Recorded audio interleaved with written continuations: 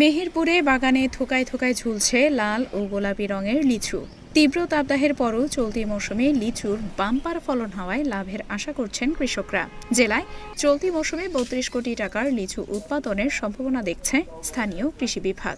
এদিকে সুস্বাদু ও রসালু এসব লিচু দেশের বাজার পেরিয়ে বিদেশে রপ্তানির দাবি চাষিদের। আমাদের এদিকে এবার প্রচণ্ড রোদ বৃষ্টিও কম, তারপরেও লিচুর প্রচুর ফলন হয়েছে। তবে লিচু ভালো হয়েছে, লিচুর দামও পাচ্ছি।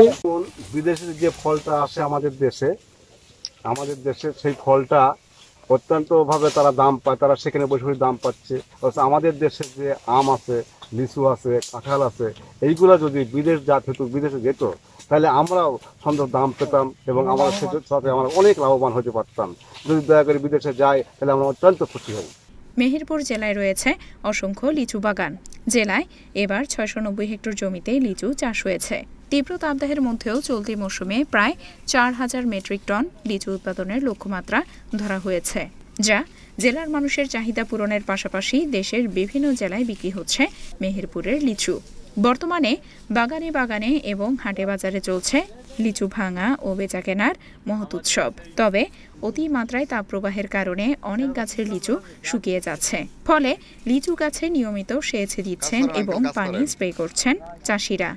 এবছর জেলায় দেশি ও আটি মুজাফর বোম্বাই, আতা বোম্বাই ও চায়না তিন জাতের লিচু চাষ হয়েছে। বাজারে উঠতে শুরু করেছে মুজাফর ও বোম্বাই জাতের লিচু। চায়না তিন জাতের লিচু বাজারে আসতে আরও দুই এক সপ্তাহ সময় লাগবে। অন্যান্য বছরের চাইতে দ্বিগুণ লিচুর ফলন, পোকার আক্রমণ কম, কিছু কিছু জায়গায় লিচু ফাটা সমস্যাটা আছে।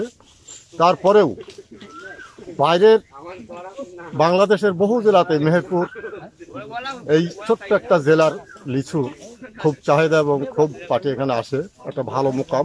এখানে লিচুর আরও আবারটা যদি বেশি করে বার হয়, আমার মনে হয় কৃষক এবং কি যারা খেটে কাটা মানুষ আছে, তাদের জন্য উপকৃত হবে। তারাও এখানে শ্রম দিয়ে তারাও দু পয়সা ইনকাম করতে পারবে, বাগান মালিক সে রাজস্ব আয় করতে পারবে। হ্যাঁ তারপরে দেখা গেল আমরা যারা লাভবান হব বাগান যারা কিনছি, ব্যাপারী যারা আছি, বিভিন্ন জেলার থেকে এখানে আসছে, যেমন ঢাকা থেকে বিজ্ঞানপুর, মুন্সিগঞ্জ, বরিশাল, পার্শ্ববর্তী বিভিন্ন জেলার থেকে এখানে আসছে। তো আশা করি সবাই আরও একটু এদিকে ঝুঁকবে বেশি, যে মেহেরপুরে ভালো চার পাওয়া যাচ্ছে এবং কি এখানে সবচেয়ে বড় কথা কি প্রসেসিংটা যেন আর একটু ভালো হয় সামনে। আর এদিকে লিচুটা খুব সুস্বাদু লিচু।